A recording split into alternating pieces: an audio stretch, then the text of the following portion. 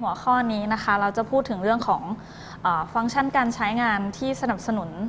การใช้งานต่างๆ ในระบบปฏิบัติการนะคะะในเบื้องต้นเนี่ยอาจารย์จะมาพูดถึงเรื่องของการค้นหาไฟล์นะคะหรือโฟลเดอร์ที่อยู่ในโปรแกรม Explorer นะคะเพื่อที่ว่าเราจะได้หาไฟล์ได้อย่างรวดเร็วนะคะ ในกรณีที่เรามีไฟล์ที่อยู่ในเครื่องเนี่ยเยอะมากนะคะ เหมือนของอาจารย์เนี่ยไฟล์มันซับซ้อนมากเลย เราจะทำยังไงให้สามารถหาไฟล์ที่เราต้องการได้อย่างรวดเร็วนะคะ โดยการหาไฟล์เนี่ยในระบบปฏิบัติการยุคใหม่ ๆ ยุคปัจจุบันนะคะ ก็จะเราจะหาไฟล์ได้รวดเร็วแล้วก็ง่ายขึ้นนะคะ ในเบื้องต้นเนี่ยเราสามารถหาได้จากหนึ่งเลยก็คือ recent file นะคะ คือไฟล์ที่เราใช้งาน ครั้งล่าสุดนะคะ โดยในโปรแกรมเนี่ยจะเรียงลำดับ 20 ไฟล์ที่เราเปิดล่าสุดนะคะ หรือ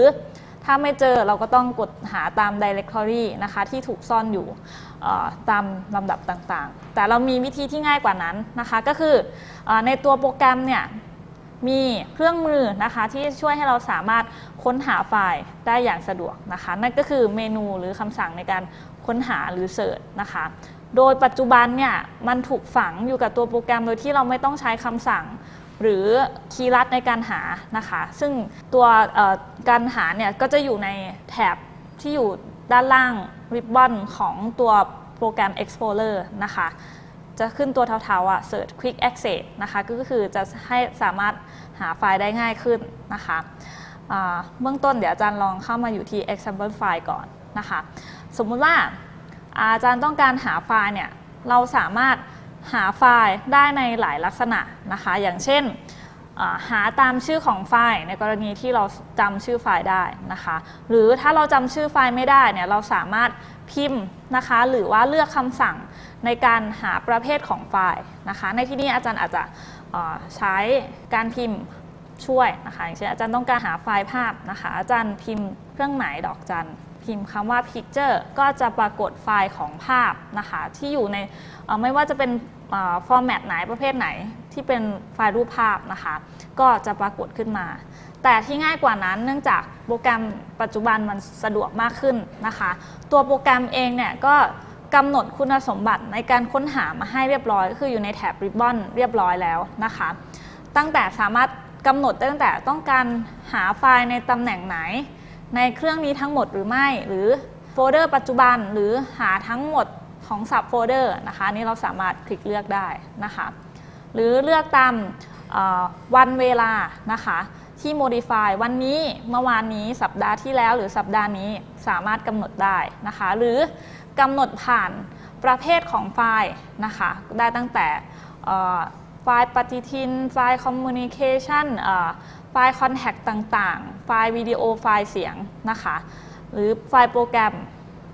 ต่างๆ ก็สามารถกำหนดให้หาได้นะคะ ผลลัพธ์เหมือนกัน ซึ่งมันมีการพิมพ์คำสั่ง แต่ว่าเราไม่ต้องพิมพ์คำสั่งเนื่องจากเราสามารถป้อนคำสั่งผ่านการคลิกเมาส์ได้เลยนะคะ นอกเหนือจากการค้นหาตามประเภทของไฟล์แล้วเนี่ยเรายังสามารถค้นหาตามขนาดของไฟล์นะคะระบุ เป็นช่วงนะคะ ตั้งแต่ค่าที่ศูนย์หรือว่าค่าไฟล์ที่มีขนาดเล็ก ขนาดเล็กมาก ขนาดเล็กๆนะคะ ขนาดกลางขนาดใหญ่หรือขนาดใหญ่มากนะคะ หรือมีขนาดที่ใหญ่มากกว่า 128 เมกะไบต์ก็สามารถกำหนดช่วงของไฟล์ได้นะคะนอกเหนือจากนั้นเนี่ยเรายังสามารถเลือกตามค่าอื่น เช่นผู้เขียนหรือเจ้าของไฟล์นะคะ ในกรณีไฟล์มีการกำหนดผู้เขียนมานะคะประเภทชื่อหรือโฟลเดอร์ผ่านนะคะรวมถึงไฟล์ที่มีการตั้งค่าแท็กมาไว้เรียบร้อยนะคะรวมถึงไทเทลของไฟล์ด้วยนะคะนอกเหนือจากนั้นแล้วเนี่ยเรายังสามารถกำหนดคุณสมบัติเพิ่มเติมนะคะหรือว่า advanced option ก็คือสามารถให้ค้นหา เฉพาะไฟล์อย่างเช่นไฟล์ที่เป็นคอนเทนต์อย่างเดียวนะคะก็คือไฟล์ทั่วไป หรือไฟล์ที่เป็นไฟล์ระบบหรือว่า System ไฟล์นะคะหรือไฟล์ที่มีการบีบอัดหรือ Compress ไฟล์เป็นต้นนะคะซึ่งจะทำให้เราสามารถค้นหาไฟล์ได้อย่างมีประสิทธิภาพมากขึ้นนะคะ นอกเหนือจากนั้นแล้วเนี่ยเรายังเข้าไปดูนะคะว่าเราเคยค้นหาอะไรมาก่อนแล้วนะคะ หรือสามารถ clear search ก็ได้นะคะ ถ้าเราไม่ใช้งานแล้วก็คลิกในที่ว่างมันก็จะหายไปนะคะ หรือต้องการค้นหาใหม่ก็สามารถค้นหาได้เลยนะคะ เดี๋ยวอาจารย์ยกตัวอย่างการค้นหาไฟล์หรือโฟลเดอร์นะคะ เดี๋ยวอาจารย์ลองหาโฟลเดอร์ที่อาจารย์สร้างไว้เมื่อสักครู่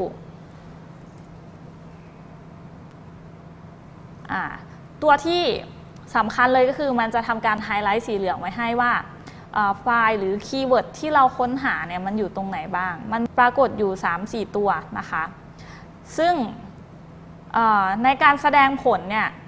มันก็จะแสดงทั้งชื่อโฟลเดอร์หรือชื่อไฟล์ รวมถึงค้นหาจากผัด directory ของไฟล์ได้ด้วยนะคะ จะสังเกตว่า 3 ตัวแรกเนี่ยมันคืออันเดียวกันเนาะก็คือโฟลเดอร์ example นะคะ ตัวที่ 2 มันก็คือเป็น sub folder ของมันอีกทีนะคะ อันนี้เป็นการค้นหาไฟล์ หรือโฟลเดอร์หรือ ไฟล์ระบบต่างๆ ที่อยู่บนเครื่องคอมพิวเตอร์นะคะ เพื่อให้เราสามารถทำงานได้สะดวกมากขึ้นนะคะ เพื่อที่จะได้ไม่ต้องมานั่งคลิกหาทีละทีละโฟลเดอร์ทีละโฟลเดอร์นะคะ หรือเรามีอยู่ 10 ไร่อย่างเงี้ยกว่าจะหาเจอนะคะ ก็จะทำให้เราทำงานสะดวกยิ่งขึ้นขอบคุณค่ะ